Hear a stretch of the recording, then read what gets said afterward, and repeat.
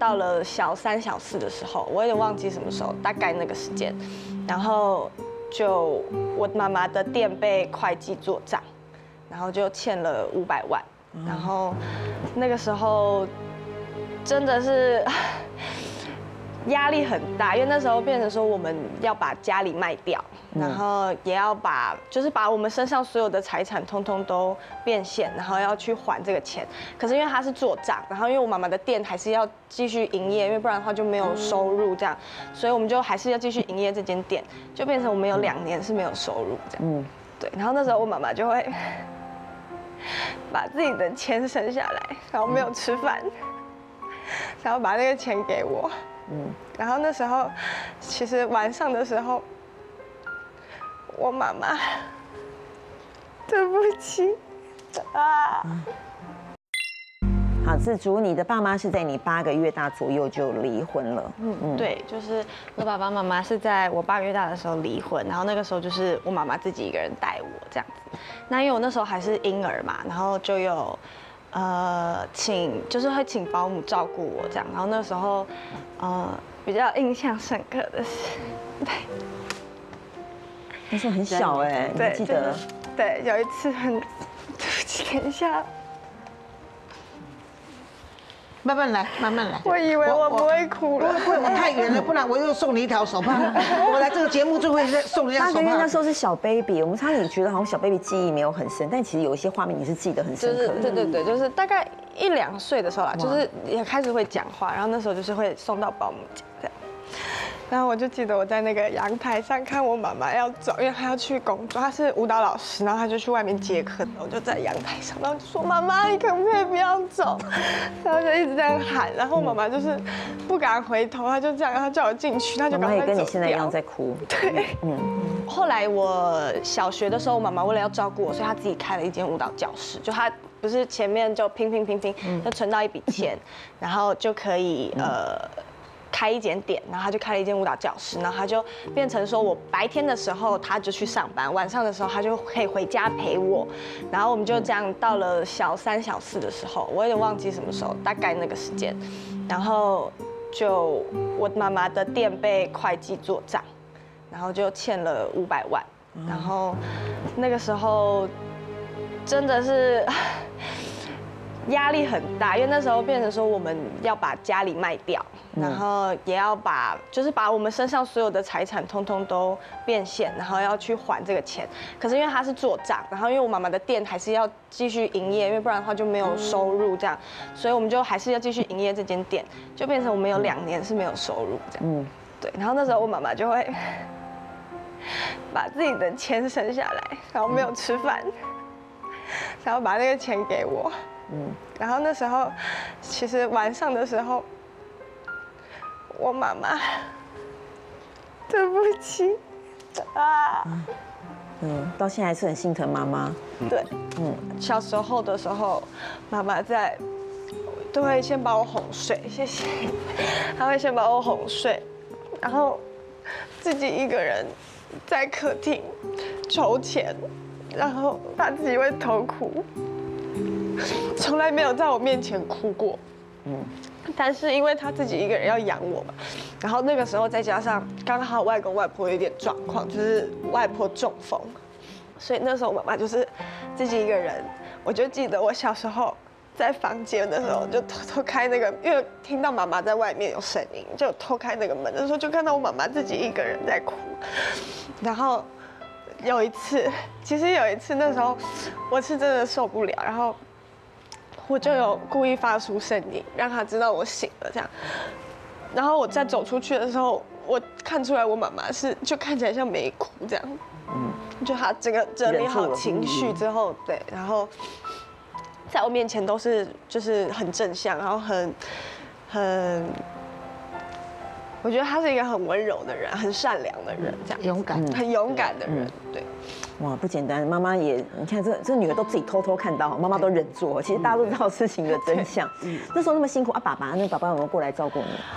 爸爸的话是，呃呃，他是我是有一直就是两边都有联络啦，比较大一点是一到五的时候是，呃跟妈妈住，然后六日的时候会去爸爸家，就礼拜五晚上会去爸爸那里这样。我国中的时候，跟爸爸关系比较恶劣一点，因为就是小时候的时候，妈妈就说，呃，是因为关系不和，嗯，所以呃，所以你心里有讨厌爸爸？没有，那时候就觉得说，哦，这是因为关系不和，因为妈妈会自己偷哭嘛，然后她跟爸爸吵架的时候，她就会哭啊，所以那时候妈妈就说，你看我跟我跟爸爸吵架，他会难过，你希望，你就是你也不希望妈妈难过这样，我说对对对，我不希望妈妈难过，那分开好这样。分开妈妈就不会自己偷哭这样，然后但是就是我妈妈她就是那种阶段性会会解锁一些消息这样，然后再大一点就知道他们真的就是就是离婚的原因这样，就呃对，就是爸爸有怀孕，呃。有新新的新新的对象这样，后来再结婚了，再结婚了，再结婚了，对对对，嗯，就是对。那时候你跟你爸爸有很激动的争吵？一开始其实因为对我来说，我爸爸很爱我，我妈妈也很爱我，然后我妈妈也都说，哎，妈，爸爸也很爱你什么，所以我就觉得好像没什么没什么。然后但后来就知道说，框框，然后我就刚好国中的时候就有点叛逆期啦，对，然后就是我爸爸只要说什么。你跟你妈一个样子啊，什么的那种，就因为我我我爸爸，我就跟我爸爸吵架嘛，然后因为我吵赢他，我就说可能你就怎样怎样不合理，他就说你跟你妈一样的时候，我就会抓狂，就是那个时候的那个点，然后就会这个大爆发这样，然后我就会对我爸讲啊。这样，而且是完全明又没有逻辑，但就对他嘶吼，就啊这样子，然后就是摔门啊什么的这种很叛逆的行为这样。然后我妈还就是她到到后来我大学的时候，她还说我女儿没有叛逆期，很好啊，她她超成熟的这样。然后我就说嗯，对我对你没有叛逆期，但是我对我爸爸好像有，对，帮妈妈出气的，对，就是那时候觉得神奇这样。然后是我妈妈，其实，在那个过程中，其实她都有跟我说，她说。呃，这是爸爸跟妈妈之间的，就是跟跟对爸爸妈妈好像就都很对爸爸妈妈自己的事情这样。你妈妈很成熟，很坚强哎。对，他说，呃，其实他其实他说他其实讲过一个，他说他其实不希望我活在呃憎恨的世界里面，就是他希望我就是他知他要我知道说我爸爸很爱我，但我爸爸真的很爱我，他我爸对我很好，就是我这样哇跟他对吼，他从从小到大没有打过我，嗯，就是那种。打一下都没有，他就是，他就是那种他自己很生气，然后他也是好算这样，那种对，然后我爸我妈妈就说，你看爸爸还是很爱你。这样，那爸爸很爱你，妈妈也很爱你，只是因为我们两个没有办法在一起了这样，嗯，所以那时候就觉得哦，对，就是也觉得慢慢就开始觉得哦，好像能够释怀，能够体谅，那也比较就会比较早。觉得可能就哦放下很多。OK，好，慢慢理解这是他们的功课。你升国一之后开始也去想要赚钱，改善家境。对，因为就是看到妈妈那么辛苦嘛，然后我也很希望就是你知道在家里就是很有用，你知道吗？我也想要帮妈妈承担一些，对对对，赶快还完什么的这样，然后就觉得赚个一两千块那时候都觉得很很羡慕这样。嗯。然后加上我妈妈是本身是模特。就他以前的职业是模特，所以那时候就想说，那我也想跟我妈妈一样，因为我妈妈在我心中就是一个偶像的存在，英雄的存在，我想跟我妈妈一样。哎，就刚好璀璨之星，那时候第一届你就报名了。对，那时候第一届的时候，什么东西都还没有分组，什么都没有这样。然后因为那时候我国中就一六七，哇，对，所以我那时候是刚好那个压线，因为那时候好像是一六六底线。一六六还一六五底线，然后那时候就很刚好就是压线，然后他说只要缴五百块，你就可以去报名。然后如果你上了，你就会有一个暑假的课程。那我那时候就想说，五百块两个月的课好划算哦。就是如果我上了，那我拼拼看嘛，因为这是我的决定啊。那我之前决定都 OK，那我这是不是也可以去拼拼看这样？然后那时候就觉得好，那我就用那个去。去比这个比赛，这样，然后哎就很顺利，刚好就比到总决赛这样。然后那时候对，就到总决赛的时候，想说嗯可以，我觉得我很好，但是因为总决赛就被刷掉，那时候还想说啊好沮丧，那我就好好回去念书这样。结果没想到隔一个月，就是公司就问我说，哎那我们有意愿想要签约这样，那有没有这个兴趣？然后那时候觉得当然有，就可以赚钱的机会来了这样，然后我就去签了这个合约之后，我那时候第一年。完全就是因为我们一开始的时候要先受训。对要受训，要拍一些就是可以出去工作的那个照片嘛，这样，然后还有要一些要自己，因为我们模特儿要自己准备高跟鞋，然后很多，然后那时候呢就第一年赚的钱全部打平，嗯，这样，但是因为我的存折一直都是直接就是我的那个薪水的本子是直接给妈妈这样，然后第二年的时候呢，我就。第一次拿到存就是存存存，每个月让工作存存存存到第一笔钱，然后就是想要去买一个生日礼物给妈妈，然后我就带着妈妈去买那个玉镯，哇，对，我买了一个，但就是不是很贵的啦，就是一万多块这样子，然后那时候就觉得，就是那时候那时候年纪那么小，对，才十四岁的时候大概，对，那时候十四岁的时候就觉得我很有用，第一次人生可以送我妈妈生日礼物了，这样，然后我可以让我妈妈感觉我好像开始有能力可以让妈妈。过得很好这样子，然后那时候就很开心这样，然后所以你知道很好，你到大学的时候跟妈妈一起把债都还完了。呃，十八岁的时候还完。十八岁，高中毕业的时候，就我跟妈妈两个人一起合力的把这个钱还完了，这样很快哎。你当时感觉是什么？你会不会觉得你要少经历一些完整的学生生活？那个时候还好哎，因为那个时候就是觉得。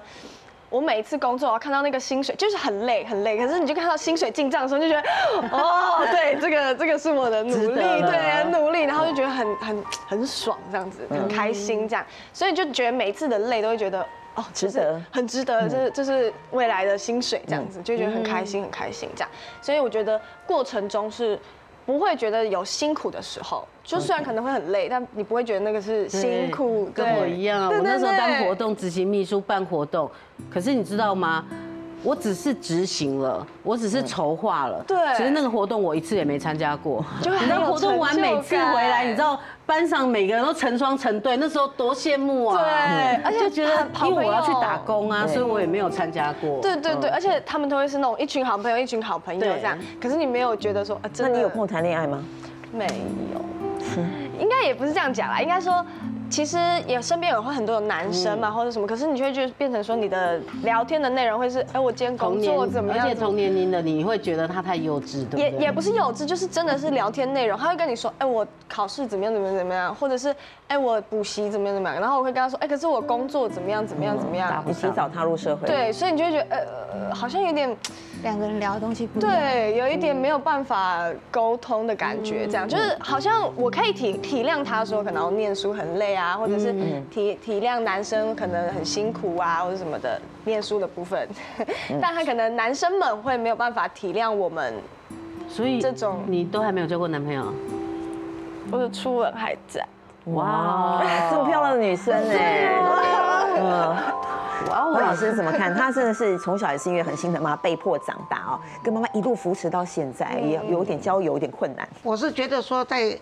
啊，子卓的子竹的身上呢，我第一要先赞美你妈妈。嗯，我觉得子竹的妈妈是一个，我看过，到目前为止应该算是一个现代化单亲妈妈的典范。真的，我觉得很棒。嗯，因为为什么很多单亲妈妈变成单亲妈妈以后？不是他过分的觉得愧疚自责，就是一直在埋怨对方，让他造成这样一个婚姻的不幸，女儿常会变成情绪勒索。对对对。那我是觉得他妈妈这一点做得非常好。那子竹也从来没有叛逆过，为什么？因为他那个 他爸爸眼中的叛逆，是因为他爸爸去打他到他的地雷，那个红线就是他的母亲，他母亲是他一生，他对他父亲也许还有那个血缘关系，是一个。依依依恋的关系，但没有依赖。可是子竹子竹跟他的妈妈是既依恋又依赖，所以他们等于是生命共同体。所以当他的爸爸说你跟你妈一样的时候，他不太在乎你骂我。可是你跟说到我妈，我俩公啊，好，这就这表示他对他妈妈的爱。嗯，那可是你看子竹是一个非常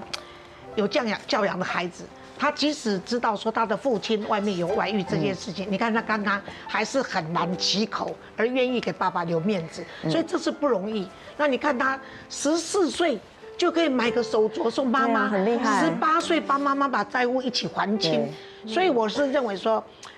在这个跟那个子竹的妈妈按赞的时候，同时也要跟你拍手哦，所以应该跟拍手，很棒，很棒，哎，都非常好。那那我可以分享一下，我跟我妈妈后来，因为我十八岁到二十岁，我们就努力存了，我就努力存了，哦，对不起，努力存了一笔钱，然后我带妈妈，就是我跟妈妈说哦，，这是姐妹吧？我要带她去，带她去韩国玩，帮她付机票跟住宿这样子。哇然后这是第一次跟妈妈一起出去玩，哇，啊，你这两个人年纪看起来像姐妹是姐妹，对啊。妈妈是模特儿嘛，所以对啊对对对，她也很高。高。然后这是我妈妈在做泡菜。泡菜，哇塞，对，哇。跟妈妈一起做泡菜的时候的照片。然后这是我妈妈帮我拍的照片，我妈妈帮我，好漂亮哦。穿韩服这样子，真的好漂亮我妈妈拍照技术超好，就是他妈妈在教育他的过程中里面，呃，没有任何负面的这个教材在他身上，所以他从他看到妈妈的背景在偷哭的时候，那个那个那个每一个有镜头有画面的镜头，都是可以让孩子自觉，然后去领悟到说我必须要怎么样来帮这个家庭，这非常好。所以我觉得妈虽然是爸爸缺席的童年，但是你培养出很坚韧，而且这个有毅力哦，跟母女之间是培养一个别人都没有很深厚的感情。那可是他的爸爸也没有缺席哦，对他礼拜六、礼拜天可是跟爸爸。对啊对对，我爸爸也是而且他是说，即使他忤逆他爸爸，他爸爸都没有动手或者不理他，所以这是像他们这一对离婚的夫妻他妈妈在这中间有一个让我更觉得了不起的地方，她是个模特出身，然后她呢又那么年轻漂亮，其实她妈妈可以再去找一个可以依赖的男人来。让他走下一半辈嗯。子，可他妈妈没有，他妈就是即使还债都靠自己，宁可女儿跟他一起努力，所以这是一个非常励志的故事。父母亲的家庭教育啊，即便不完美的婚姻，祖祖还是可以生长的这么好，哎，很棒很棒。单身行不行？有官方的 YouTube 频道，请记得搜寻东风卫视，而且扫描我们下面的 QR code，同时按下订阅钮，开启小铃铛，就可以看到我们最新的影片了。还有还有，我们有很多独家的好康网络影片，只在这个频道独家播放哦，记得分享给你的亲朋好友吧。受欢迎的命理大师，现在都在命运好好玩开运服务，包含神准算命、开运商品、开运秘法，请上网搜寻命运好好玩。